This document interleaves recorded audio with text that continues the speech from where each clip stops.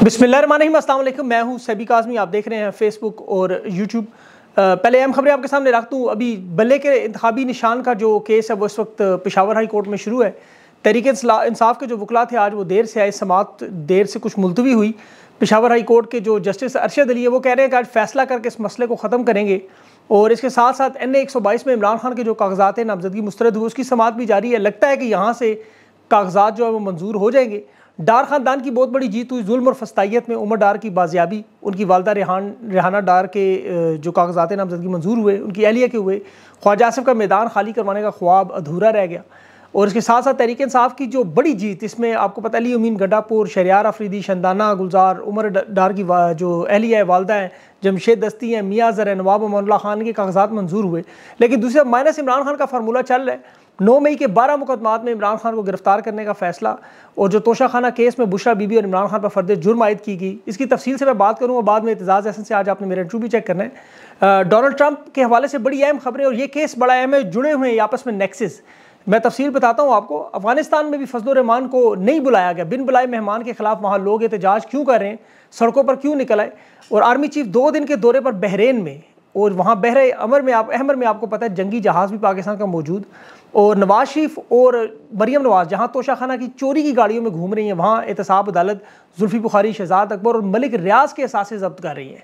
इस्तेकाम party और नून league के दरमियान जो मुल्तान में जहांगीर तरीन, नलीम खान, ओन चौधरी और लाहौर में वो जो आमिर कियानी, इस्लामाबाद में, इन तमाम नशस्तों पर जो आपस में इतिहाद है, लेकिन चार रहनुमा उन्होंने निकाल दिए। और इमरान खान के खिलाफ जो अदम अतमाद के दौरान इस्तेकाम पार्टी ने वादे किए थे, आज वही लोग इनके लिए बहुत बड़ी मुश्किल बन गए। तो उस पर मैं तफसील से बात करूँगा, शेर अफजल मरवत का टिकट के हवाले से भी बड़ा अहम बयान आया और खैबर पख्तूनख्वा में इस वक्त जो तमाम वकला के टिकट्स हैं, ये एक बड़ा अहम मामला है। इस पर काजी अनवर एडवोकेट साहब के कंसर्न है ऑडियो लीक भी थी एक और अभी लेकिन जो बल्ले की समाज चल रही है इस वक्त, उसमें बैरिस्टर अली जफ़र बड़े अच्छे दलाइल दे रहे आज देर से आए दोनों बैरिस्टर, गोहर अली जफ़र, केस अहम था, इन्हें देर नहीं करनी चाहिए थी, लेकिन बहरहाल जस्टिस अरशद अली ने आज फैसला करने का पूछा कि अगर आज हम यहाँ फैसला करते तो सुप्रीम कोर्ट जाने की ज़रूरत नहीं है। तो इसका मतलब यह कि आज ये फैसला हो सकता है, दे दें। इसमें जो सबसे अहम नुकता, वो इंट्रा पार्टी इलेक्शन का मामला है। ये इलेक्शन कमीशन के इख्तियार में मामला नहीं है। वो अपने खुद इंतबात नहीं करवा सके चौदह मई को, सात नवंबर को। वो तहरीक इंसाफ के आठ लाख वोटर्स की पार्टी के इलेक्शन पे इतराज़ कर रहे हैं और कह रहे हैं कि ये आइन के मुताबिक नहीं। लेकिन यहाँ जो सबसे अहम बात जिस पर एतराज़ उठाया जिसने, वो पार्टी का मेंबर ही नहीं। अब यहाँ दो मज़ीद बातें जो कि अहदेदार आइन के मुताबिक मंतखब हुए और हर पार्टी के मेंबर का इसमें इंतखब में हिस्सा का हक मौजूद था। ज़्यादा से ज़्यादा जुर्माना लग सकता था, लेकिन पार्टी से बल्ला नहीं छीना जा सकता था। अब जस्टिस एजाज अनवर जो है वो सुन रहे हैं इसको मामले को। तहरीक इंसाफ को उन्होंने दो दिन डिले करने की केस कोशिश की ताकि सुप्रीम कोर्ट की डेट भी गुजर जाए, क्योंकि दबाव बहुत ज़्यादा है, वो मैं आपको बताता हूँ आगे चल के। लेकिन जहाँ अली जफ़र साहब ने कहा कि तेरह जनवरी को इंतबी निशान देने में अगर देर हुई तो फिर हम इंतबी निशान टिकट नहीं दे सकते। जो अरशद अली साहब हैं, उन्होंने कहा, मुझे लगता है कि ये आज फैसला देना चाहिए, ताकि सुप्रीम कोर्ट में मामला ना जाए। अभी चार दिन बाकी हैं, मुझे शक है ये शायद ये ना कर दें कि आम ये इंतबात दोबारा करवाएँ। क्योंकि जमात फाल नहीं रहती, लाखों करोड़ों लोग जो है, वो पार्टी के टिकट से महरूम होते हैं। और इस तरह कानून में कभी किसी जमात को ख़ास तौर पर मकबूल जमात को इस तरह इलेक्शन ना करवाने के मामले पर पाकिस्तान की तारीख में ऐसा कोई मामला नहीं। यहाँ पाकिस्तान में जिस तरह बाकी पार्टियों के इलेक्शन वो आप जानते हैं क्या होता है? अब इलेक्शन कमीशन यहाँ एक बड़ी गलती कर गया, वो तहरीक साहब पर उन्होंने कोई जुर्माना भी नहीं किया और उसको कोई नोटिस भी नहीं लिया। ना ही उस वक्त उनके इंतबात पर एतराज़ किया। लेकिन आप लोग सोच रहे हैं कि जो जो ये दिन करीब आ रहे हैं, ये प्रेशर क्यों बढ़ता जा रहा है? ये जल्जले के जो झटके हैं, क्यों महसूस हो रहे हैं? तो असल मामला आपको पता है, उसकी वजह कल शाम नवाज़ शरीफ साहब की पहले एक मुलाकात हुई बरतानवी हाई कमिश्नर जेन बैरियर से, जो कीनिया में इलेक्शन पहले ख़राब कर चुकी है। अब नवाज़ शरीफ लंदन माहा करवाने वाले, जिनकी दो साल अभी मुदत मुलाजमत में तोसी की बात भी चल रही है उनकी नवाज़ शरीफ से दुबई में मुलाकात भी हुई पहले। वही शख्स कल नवाज़ शरीफ से मिला और गिले शिकवे हुए तो उन्हें तमाम वादे याद कराए गए कि देखें, आपने इमरान खान को इलेक्शन से आउट करना था, लेकिन यहाँ कागजात मंजूर हो रहे हैं। तो ताकतवर शख्स ने इन्हें यकीन दिलाया कि मतहत अदालतें तो हमारे कंट्रोल में नहीं हैं, लेकिन हम बल्ले का निशान छीनने की कोशिश कर रहे हैं, खान पर केसेस कर रहे हैं, और आज देखें, फ़र्द जुर्म भी लगाई गई और उसका नतीजा भी आज ही निकल आया तो एक मुलाकात बिल्कुल दुरुस्त थी। मेरी खबर पक्की थी उस पर 200 के करीब इन्होंने खान पर मुकदमात, इसीलिए डाले कि एक के बाद दूसरे मुकदमे पर, तीसरे मुकदमे में गिरफ्तारी डालते रहे। इस दौरान इलेक्शन अगर हो जाए, हुकूमत बना लें। अब इमरान खान पर जो बारह मुकदमात का सिलसिला जी एच क्यू में हुआ, उसमें तिरसठ मुलजमान के पहले वारंट निकले हुए हैं। ये गिरफ्तारी जो इंसदाद दहशत गर्दी ने जी एच क्यू हमले में डाली, और इसकी आज अडियाला जेल से वीडियो लिंक के ज़रिए अदालत में पेश हुई। हालाँकि इमरान खान पहले इनसे मांगते रहे, ज़्यादा लेकिन उन्होंने नहीं दी, क्योंकि अब ये पेश करने से माजरत कर रहे थे। शाह महमूद कुरैशी के साथ भी यही किया। अब दोनों उस वक्त जाए वकूआ के पास मौजूद ही नहीं थे। इमरान खान रेंजर्स की हिरासत में थे और शाह महमूद पंजाब से बाहर थे। तमाम फ़ोन कॉलों, तमाम गवाहों से चेक करने के बाद इन्हें अंदाज़ा हो गया कि केस इमरान खान के खिलाफ नहीं बनेगा, लेकिन सिर्फ़ और सिर्फ़ वक्त बाया बाय करने के लिए ये लोग कर रहे हैं। इंतबी शेड्यूल और इंतबी निशान का ताकि मामला हो जाए और तरीके इंसाफ, लेकिन दूसरी तरफ़ भरपूर मेहनत कर रही है, इनका मुकाबला कर रहे हैं। अब लंदन माहे की आपको सबसे बड़ी शर्त याद हो तो उसमें इमरान खान को हर सूरत में जेल में रखना था। अब जी एच का हमला उसकी बुनियाद बनाया जाके भोंडा मज़ाक है। माजी में जिस तरह ये हमले हुए, आप यकीन करें, सात महीनों के बाद इनका जो सबूत निकला, वो एक अस्पताल जलाने का। और ये कहते हैं जी, पाकिस्तान का ये नो ग्यारह है। हालाँकि मैं आपको कुछ आपको मसाले सिर्फ़ दूँ, जिन्हें देख के आपको अंदाज़ा हो कि पाकिस्तान का असल नौ ग्यारह आपको याद आएगा। श्रीलंका की टीम पर हमले करने वाले वही लोग डॉक्टर उस्मान और वो जिनका कालदम तंजीमों के साथ, जिनके साथ आज ये इतिहाद भी कर रहे हैं और बड़ी बड़ी मीटिंग्स भी कर रहे हैं, बड़े लोगों से, ताकतवर लोगों से। अभी उलमा से जो मीटिंग उसमें तस्वीरें में वो शख्स मौजूद है, जिसकी जमात ने 2011 में जीएचक्यू पर हमला किया। और आपको याद होगा, उसमें 115 लोग उन्हें छुड़वाने थे अपने। और हमला होता कैसा है, वो देख लें करनी जिसने देखा। ऑपरेशन जानबाज, उसका नाम रखा गया नौ फौजियों की शहादतें हुई 22 सिविलियन और फौजी अफसरान उसमें महसूर हुए इनके हाथों। कब्जे में थे इनके। बाकायदा तौर पर हेलीकॉप्टर भेज के जेल से नामी ग्रामी फोर्थ शेड्यूल के मुजरमों को निकाल के उनके साथ मुजाकर करवाए गए। दूसरा नौ ग्यारह आपको याद होगा, पिशावर एपीएस में जो हुआ, उसमें जो पकड़े जाने वाला तर्जमान तंजीम का सबसे बड़ा मुजरिम एहसानुल्ला उसे भगाकर तुर्की निकाल दिया उन्होंने फिर तक तरीका आपको पीएनएस जो मेहरान बेस का हमला याद होगा, जिसमें 18 फौजी शहीद हुए। और ये हमला जीएचक्यू हमले से भी बड़ा करार दिया गया। छः अरब का नुकसान अलग हुआ और जिन लोगों ने बलोचिस्तान में हमले किए, जिसमें शेड्यूल फोर्थ में आने वाले दुनिया में बड़े बड़े लोग नाम है, शफीक मैंगल जैसे लोग, आज वो निगरान वजी अजम अनवारुल हक के पास बैठे हुए एहसानुल्ला जैसे लोग आपको सोशल मीडिया पर लेक्चर देते हुए नज़र आ रहे हैं। जो असली पाकिस्तान के मुजरिम थे, वो आज इनके साथ हैं। पाकिस्तान की तारीख का मकबूल तरीन रहनमा, जिसका इन हमलों से कोई ताल्लुक नहीं, जो खुद गैर कानूनी तरीके से इस्लामाबाद हाई कोर्ट से गिरफ़्तार हुआ, जिसकी वीडियो उन्होंने गायब कर दी उस पर केसेस डाल दिए। अगर ये केसेस सच्चे हैं तो फिर मुशरफ का त्यारा भी अगवा बहुत बड़ा केस है। तारीख में उससे बड़ा कोई केस ही नहीं। हवा में मुशरफ को, जो आर्मी चीफ था, उसे अगवा किया कि मीडिया में कोई बात अब नहीं करता। सुप्रीम कोर्ट जैसे मुकदस इदारे पर नवाज़ शरीफ का हमला, दुनिया भर की अखबार वीडियोज़ में मौजूद हैं। लेकिन इन हमलों को इग्नोर करना, चूँकि इस लंदन प्लान का मंसूबा है डॉन लीग्स फौज को गद्दार कहना अपनी फौज के बारे में बैरूनी इदारों में बात करना, हिंदुस्तान की आज भी वीडियोज़ मौजूद है। अभी मैंने ट्विटर पर शेयर की है। फौज के उन्होंने दहशतगर्द तक कहा, मेमो गेट में अब्टाबाद जरदारी आपको याद होगा। वजह बड़ी साफ़ और सादा है। इमरान खान के ऊपर जितने केसेस हैं, ये तमाम बोगस केसेस हैं, अदालतों में वो बरी हो जाते हैं। अब ये इसीलिए केस शुरू किया और ये इनके आखिरी केसेस हैं।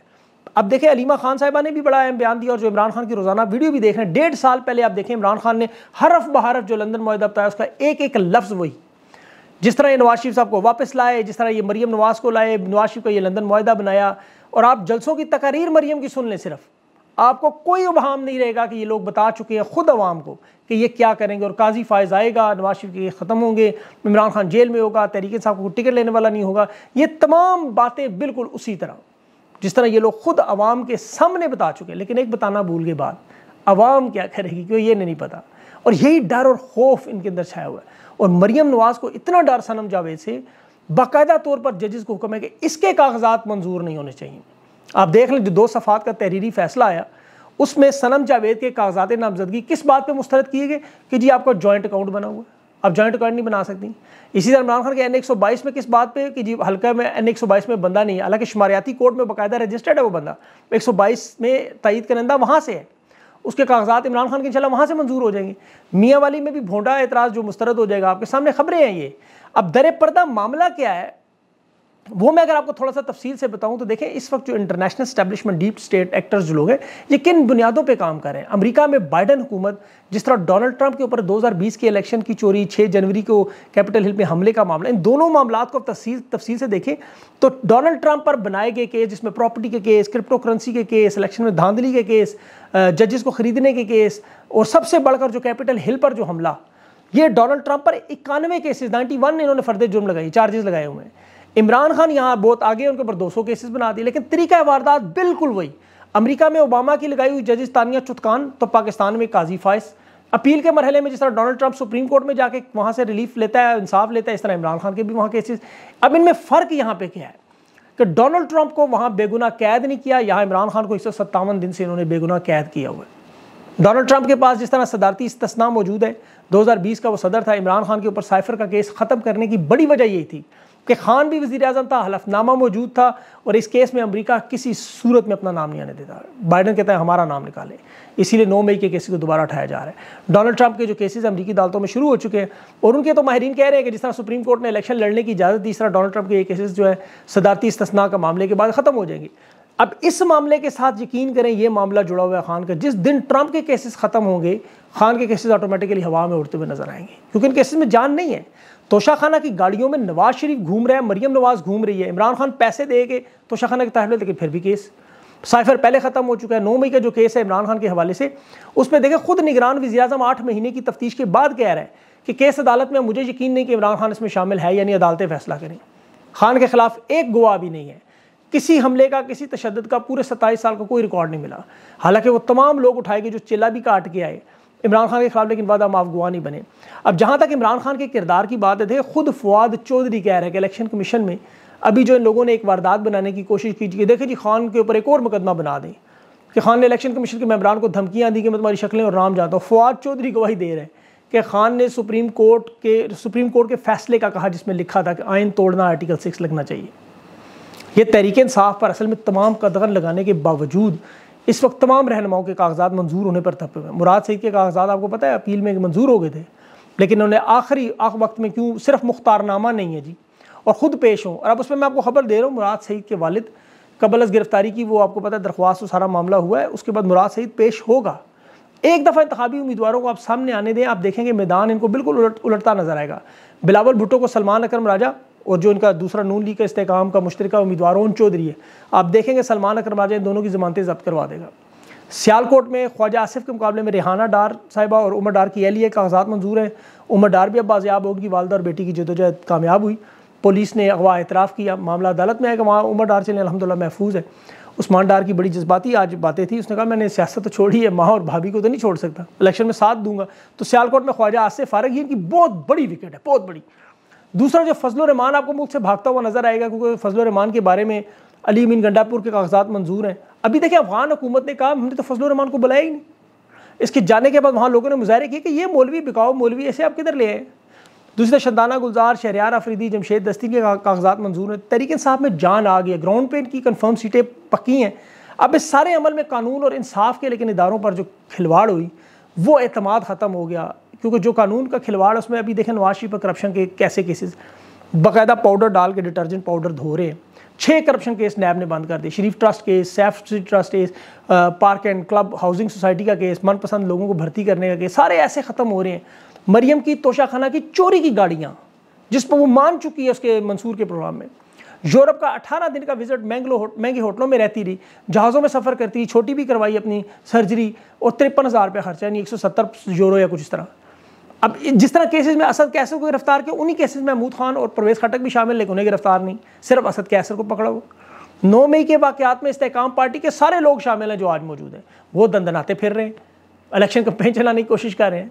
तो इलेक्शन कमीशन काजी फायज जहाँ सहूलतकारी कह रहे हैं नवाज़ शरीफ के लिए, मुझे लगता है इन्हें अगर थोड़ी सी हिम्मत करके इनके पोलिंग एजेंट ही बन जाए डायरेक्ट मारे ठप्पे खुद ही ले लेके ताकि पता तो चले। इस वक्त झूठे बोगस केसेस इलेक्शन से रोकने के लिए सिर्फ़ और आला कोर्ट से जो लार्जर बेंच से लोग सजा याफ्ता हुए, नाअहल हुए, इश्तहारी हुए, जिन्हें जनरल बाजवा ने अदालतों से सहूलतकारी करवा के जनरल फैज़ की गाड़ी में बिठा के डेढ़ सौ रुपये पचास रुपये के स्टाम्प पर बाहर भिजवाया। अब वही इश्तहारी बरतानिया में पाकिस्तानी हाई कमिश्नर छोड़ने आया और पाकिस्तान में आर पी ओ सलूट मारता रहा। अदालतें सात मिनटों में सारे केसेस ख़त्म करती नहीं रिटर्निंग अफसरान कागजात मंजूर करते रहे और तोशा खाना की उसी गाड़ी में वही जो एवन फ़ील्ड के अपार्टमेंट से निकला, इंसाफ के चीथड़े उड़ाता हुआ आज पोलिंग बूथ पर काजी फाइज को पोलिंग एजेंट बना के जीत भी जाए तो कोई हैरान ना होइएगा, लेकिन अवाम होने नहीं देगी। तरीके इंसाफ के लोगों को अगवा करें तशद करें, ज़बरदस्ती बयान दें, एक मुकदमे से उनकी ज़मानत हो, दूसरे में गिरफ़्तार कर लें ख़वान को जेल में रखें, बल्ले का निशान छीन लें, लेकिन फैसला करना है इन अवाम ने जितनी मर्ज़ी कोशिश कर लें, जो मर्ज़ी कर लें, हर गुजरता हुआ दिन पाकिस्तानी कौम अपनी हकीकी आज़ादी के इंशाल्लाह करीब आती हुई नज़र आएगी। तमाम मुश्किल ख़त्म होगी। ये जो वक्ती तौर पर चीज़ें आपके सामने आती हैं, इनमें आपने घबराना नहीं है, बिल्कुल। आखिर में आर्मी चीफ का दौरा है बहरीन, बड़ा अहम दौरा है। और याद रखें, बहरीन उन ममालिक में है जो अमरीका के, वो दस मुल्क हैं जो यमन के हौसियों के हमले के ख़िलाफ़ लड़ने पर रजामंद हैं। बहरीन, कनाडा, फ्रांस, इटली, बरतानिया और उनके साथ और भी हैं। पाकिस्तान का जो जंगी जहाज़ बहरा अमर में, अहमर में मौजूद है। तो अभी हाल ही में ईरान पर बड़ा हमला हुआ, फिर यमन के खिलाफ जो बड़ा इतिहाद बना, अमेरिका ने उन पर भी हमला किया। तो बहरीन का किरदार बड़ा अहम होगा। इसमें सेनेट के जो जमात इस्लामी के सेनेटर हैं, मुश्ताक अहमद, उन्होंने बड़ा, जिनका यूट्यूब पर म्यूट कर दी थी ये बात, बहरी बेड़ा वहाँ क्या कर रहा है? जंग में कूदने को क्यों तैयार है? क्या मामला है? क्या गारंटियाँ मिली हैं? इंशाल्लाह उसमें तफसील से मैं अगले वीडियो में बात करूँगा, वरना वीडियो बहुत लंबी हो जाएगी। इंशाल्लाह अपना ख्याल रखें। अभी एजाज हसन साहब से मेरा इंटरव्यू है, उसके बाद इंशाल्लाह बात होगी। तब तक के लिए इजाज़ नहीं। अल्लाह हाफ़